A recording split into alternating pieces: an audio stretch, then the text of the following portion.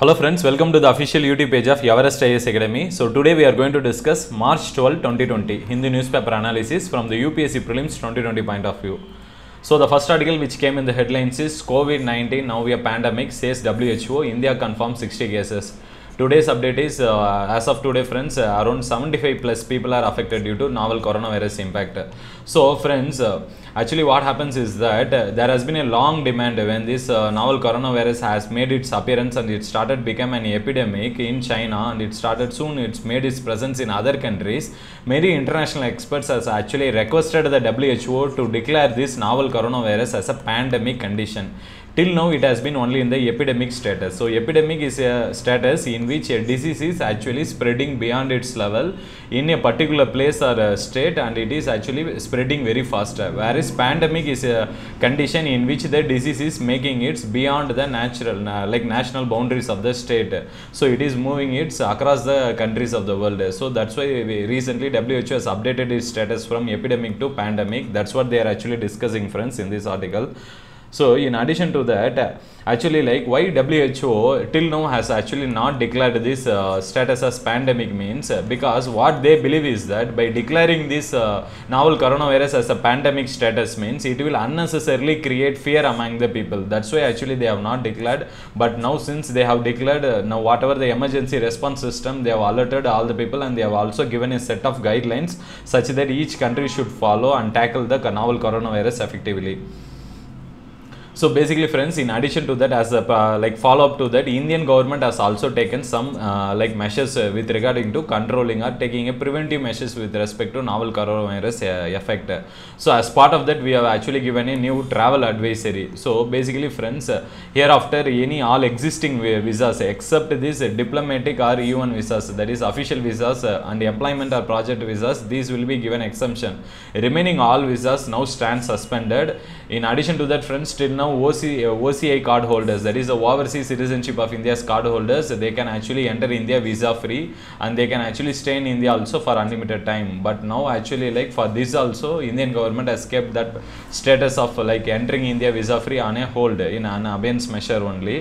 So in addition to that friends, uh, so persons who have been visiting especially major novel coronavirus countries which got infected from those countries if any person is coming means uh, then actually like hereafter we are actually compelling him to actually like to go for a quarantine that is an uh, hospital isolation or home and isolation for a period of 2 weeks that is 14 days. Why we have went for 14 days isolation or quarantine means because up to 14 days this novel coronavirus will become as a carrier for the disease to spread. That is the, for the symptoms to expose from an infected person and to have the symptoms for him to expose for that only it will take two day, two weeks. So that is why actually indian government whoever for, like people uh, who are having a travel history from these affected countries year hereafter we are actually asking them to necessarily follow this quarantine that is isolation period for minimum two weeks Next article is go for peace deal with or without a NSCN-IM. So basically friends, this we have already discussed. So during the period of 1986 only, there was a militant outfit which was formed. That is the Naga militant outfit.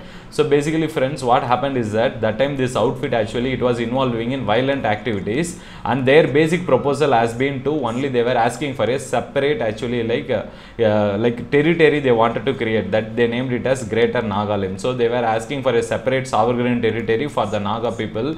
So that time actually like our Indian government got, got angry and they have declared this particular Nagaland, uh, that Naga militant outfit as a terrorist organization. And during the 1990s time period when they actually indulged in attacking actually violently, that time actually what happened is that Indian government has also wanted to like uh, take some action uh, upon this particular organization. That time actually they went to Bhutan and they made their hideout. So that time we made an operation called Operation All Clear with the cooperation of Bhutan government and we have actually like uh, uh, battled with the particular this terrorist organization. As a like a, as a continuity to that what happened is that friends there was a ceasefire agreement which was signed in 2005. Following the ceasefire agreement we were actually negotiating for this uh, peace deal. So basically what happened is that recently only in the January month we have signed a peace deal agreement but one thing we have to be very clear is uh, this particular Nagaland militant outfit it has been later renamed as National Demographic Front of Bodoland that is a Bodoland is the area they wanted to create So what happened is that friends, this particular organization uh, during the time period for this peace deal negotiations, it got split into two factions. One group is the Nabla group, that is second is the progressive group. So currently we have signed the peace deal with progressive group only, and the Nabla group has been headed by non-Bodo Sangbeat. Still, they are actually not coming to the peace negotiations because due to the terms and conditions which they are proposing. So one thing which Indian government is not flexible with the terms and condition is that they have been still asking for a separate flag and constitution as part of the peace deal, especially this NSCN, that uh, Nabla group, which is headed by uh.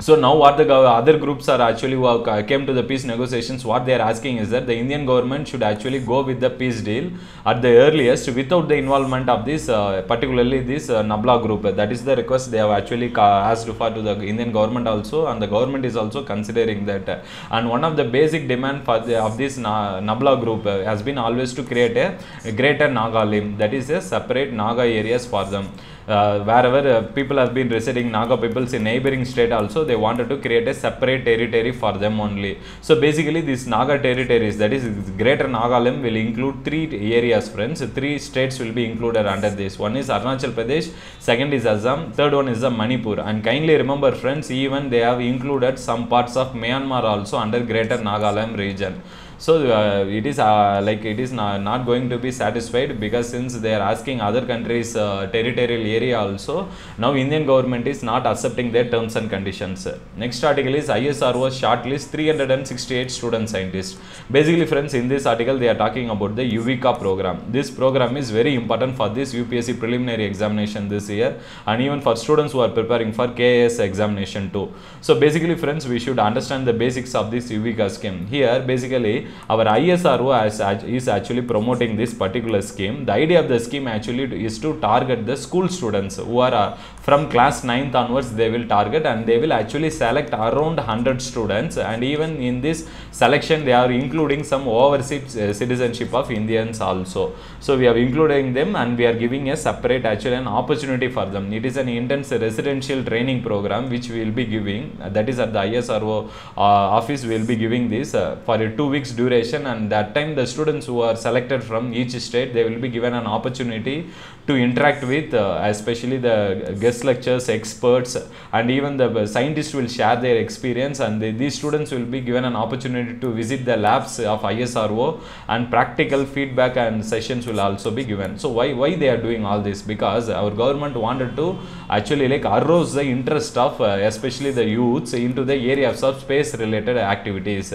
So that is the area so they only they are actually going with the tagline called catch them young so as we have discussed the friends three students are actually identified from each state or union territory. In addition to that friends five additional seats are actually reserved for this overseas citizenship of indians.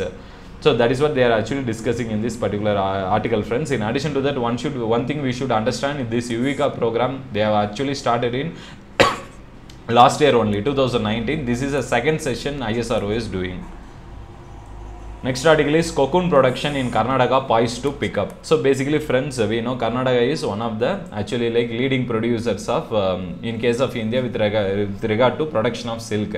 So basically, friends, with respect to like if you see in the world, China is the leading producer of silk. Starting from ancient time period onwards, China is notable for its silk only, the kind of quality silk which they manufacture. So basically, friends, uh, uh, till now, uh, before the novel coronavirus impact, China was actually dominating in the international level in, in the term of like in having a trade of silk trade only by exporting to majority of countries in the world.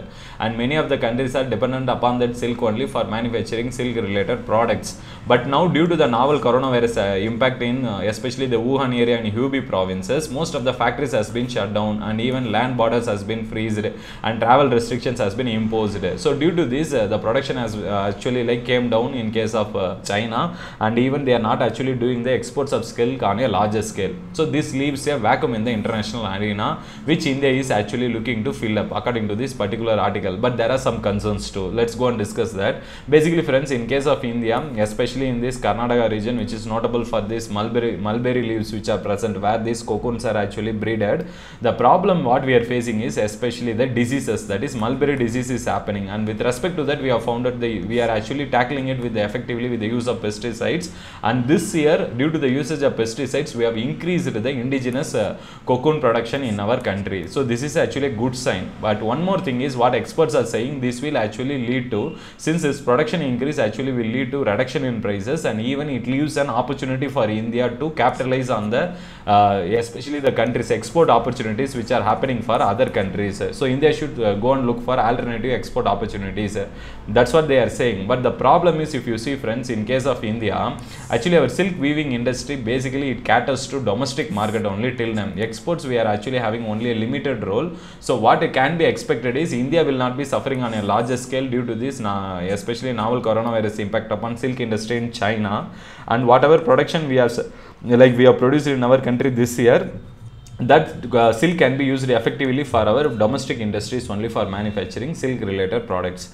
Next article is uh, states to uh, to be asked to invoke epidemics disease act so basically friends under the especially the epidemic disease act 1897 under the section 2 uh, we have a provision. So under that any advisories uh, which are issued during the time period of any epidemic uh, especially by the union health ministry. So that will be enforceable by the all the states so basically the states has to issue this uh, section 2 in their particular state so that it will be enforceable. Because we wanted to contain this uh, novel coronavirus on a larger scale. Because as of now today 75 plus cases has made its appearance. The novel coronavirus infected patients as of now in india is 75 plus and even death uh, death also is happening with respect to this novel coronavirus impact. So only our government is planning to revoke this especially invoking the provisions of epidemic diseases act for tackling this novel coronavirus impact. And even as we have discussed already in the first article we are also giving the travel advisories. And in addition to that people who are having a travel history of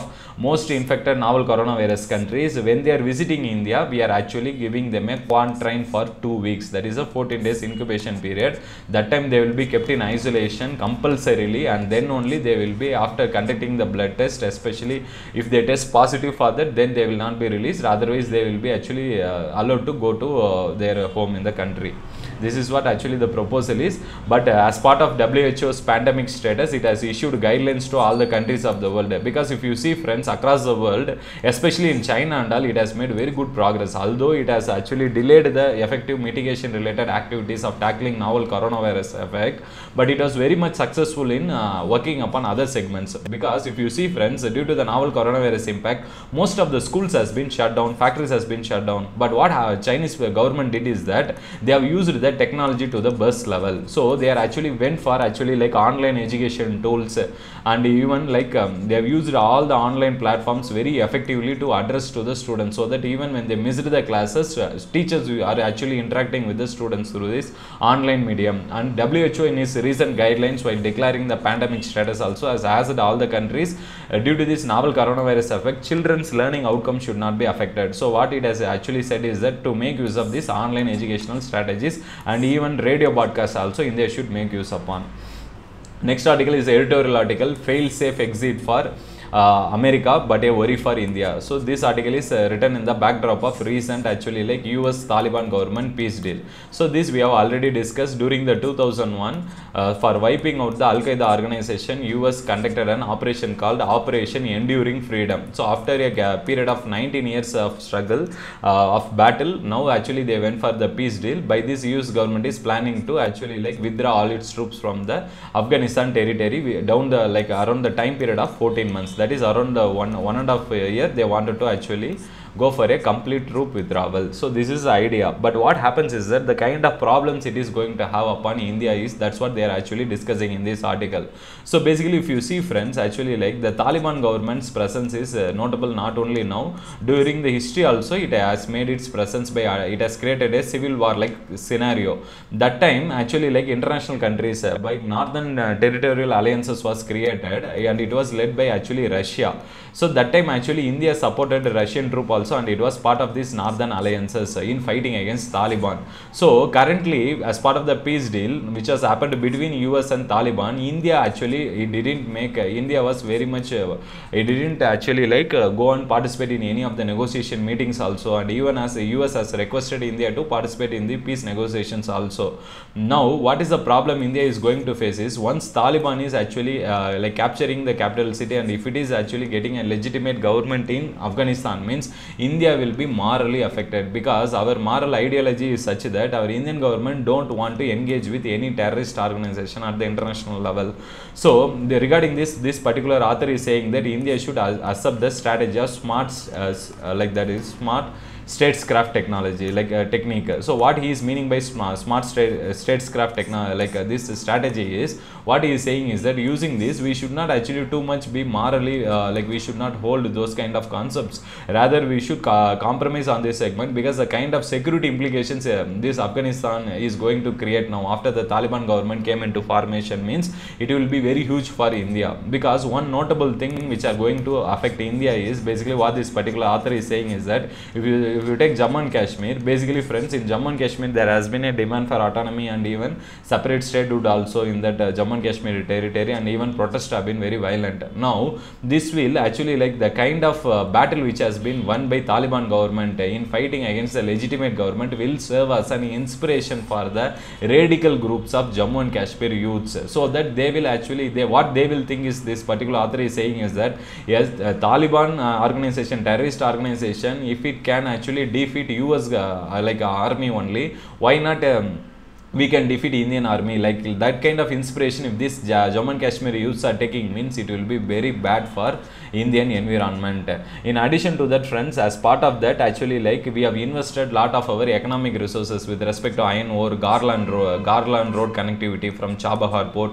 We have done so much resources. Once the Taliban government uh, came into formation means all these resources will be questionable the kind of investment we have done. In addition what this particular author is saying is that India is still actually claiming Jammu, uh, like especially we are in, still including this POK area as part of Indian territory only officially in the international arena. So if you include POK territory means India is officially sharing the border with especially the Afghanistan territory and India is always including in the international speeches uh, Afghanistan is sharing the contiguous territory with respect to Jammu and Kashmir and this is actually uh, like um, some neighboring countries like Pakistan and even China are very much actually closely monitoring this kind of statements from India. So these are the implications in which India has to face. And one more thing regarding the security issue is that the neighboring Pakistan country was so much actually proactive in this particular peace deal uh, with respect to US and Taliban also. And even Pakistan is very much closer to Taliban also. Now what happens is that once the Taliban is making a government formation means that a kind of terrorist activities and cross-border terrorism which are carried out by Pakistan-based terrorist groups will make their safe havens in Afghanistan only for any attack upon India. So this will be actually like negative for India also. This is what this author is saying friends in this article. So next article is a COVID-19 control plan made simple. So basically in this the author is talking about the containment strategy of how to tackle uh, this novel coronavirus impact. This is the first strategy only that is with respect to preventive uh, preventive strategy. Next is the mitigation strategy. Once this novel coronavirus becomes a epidemic in India, we have to focus upon mitigation strategy. Till now this novel coronavirus is not an epidemic in case of India because only 75 plus cases has been reported in case of India as of today. Considering to other countries countries our uh, infect, uh, infection rate is very less and the third stage we have to go for social isolation this is the actual strategy the government is looking to follow. And regarding that what this particular author is saying government while doing the containment strategy it has to create a separate plan for how it has to address short term medium term and long term, long term plan we are having for tackling the novel coronavirus impact during the initial phase. So government should make a systematic plan by creating an exclusive task force for that. That's what the, this author is saying friends. As part of the task force best experts has to be hired and their advice has to be looked upon and that advice has to be uh, like available to even the prime minister of the country. And basically friends based upon the task force strategy what this author is saying as we have discussed it should create immediate short term medium term and long term responses and even a 24 hour control room has to be created. And this has to be actually like immediately created for addressing the mitigation strategy Next article is economic uncertainty rises. This is a open end article, friends, and this article is very very very important because this article is written by a renowned actually like economist of India, Arun Kumar. So basically, friends, um, Professor Arun Kumar is an expert in doing black money related analysis, researches, and economics uh, is actually a renowned author. So uh, his article is very important for the UPSC preliminary examination and mains examination too. So in this particular article, article what the particular author is saying is that as we have discussed already, if you see friends, uh, in the previous video only we have discussed uh, based on- due to the effect of novel coronavirus uh, impact, the stock markets are started stumbling down. So the stocks have been affected. The reason becomes like due to the there are two things which have been happening. One because of novel coronavirus effect, factories has been shut down and growths and profits of the business uh, climate has been affected on a large scale. So stock markets is poorly performing. Second is the recent OPEC related cartel mechanism which happened. That is a OPEC plus meeting which happened between Russia and uh, especially the OPEC uh, countries led by Saudi Arabia. Non-OPEC countries, Russia. When they actually went for the recent meeting, especially the three-year agreement actually collapsed between them regarding the supply and production of um, especially petroleum resources in the world. So as part of that, now both the countries, Saudi Arabia and Russia, are competing with each other for producing more amount of oil resource in the world.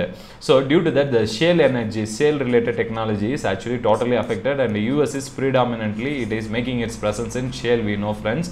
And due to that um, affection of shale markets, uh, in the stock market, most of the people have inv- uh, like invested in the shale bonds only. So due to that, um, the shale marks, uh, shale bonds are actually like collapsing and the stock market is poorly performing. This is what the author is actually discussing in the introductory statement. In addition to that, what this author is saying, Indian economy is now in a totally uncertainty condition because we are actually facing economic slowdown also due to the slump in demand. In addition to that, novel coronavirus impact and these oil related mechanisms, especially oil shocks, are also actually making its impact on India and the economy is in a state of uncertainty. So as part of that, he is also discussing about the travel and trade restrictions which has been imposed as part of novel coronavirus impact. And India has actually like due to the novel coronavirus effect, eh, the supply chain mechanism has been disrupted, eh, not only in India but also the world eh, from China because till now India was actually dependent upon China for electronics inputs, import, medicines, pharmaceuticals products, automobiles and even small and cottage sectors. Now India is actually having a actually like deficit in imports of all these products and we are actually looking for alternate markers too. That's what this author is saying. The, disruption which has been created due to the novel coronavirus impact, it is considered to be huge and actually like it has actually left a vacuum in the international arena also in which India can go and fill upon. So there is an opportunity available for India but actually it is very difficult for India to capture this opportunity this author is saying. Why? Because the kind of disruption which has been created, the production related uh, disruption which has been created by China in the last 20 years it has been very huge that many of the production companies has been closed down due to the kind of cheap imports which they produce on a larger scale. So at this point of time what India can look upon is a meager amount of opportunities in the international arena and the domestic market we can actually concentrate like we can focus upon the author is saying friends. Next article is industry starts sneezing from impact of virus. So basically, friends, the novel coronavirus impact is actually making an uh, impact in agriculture related uh, uh, like products also, their manufacturing things also. Because what happens is that India has been importing larger amount of pesticide content from around from China only. Now what happened is that due to this recent novel coronavirus impact, the pesticides which we used to impact has been actually now closed. Now actually the current the kind of stocks we which we have can be like now we can manage only for the next six months down the line. So there is a what this particular author is saying in this article is that uh, due to the kind of limited stock which we have, the kind of pesticides quantity we have, it can be only managed up to the current Kharif season, that is up to June September season only. And any plentiful or bountiful rain in the coming Rabi season means actually we will be actually for, like left out with the deficits of um, this pesticide related usage of products in the agricultural fields Uh, so that's what they are actually discussing. And even there there in the short term actually like once uh, we get exhausted of the limited stock we have in pesticides there is a chance for rise rise in the prices of pesticide related products. Thank you friends. If you like our video kindly subscribe to our channel. And if you have any doubts please post your doubts in the comment section